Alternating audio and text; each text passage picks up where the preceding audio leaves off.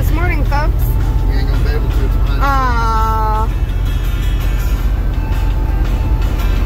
Holy shit. It's a truck on fire. Yes. Wow. Uh, that would be 80, 81 north. 81 north. At a 177 over 7. At 177 over 7, y'all.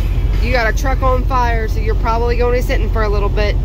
Looks like that traffic is backed up pretty good. Again, that's 81 north in Virginia. Uh, yeah. Be safe, y'all.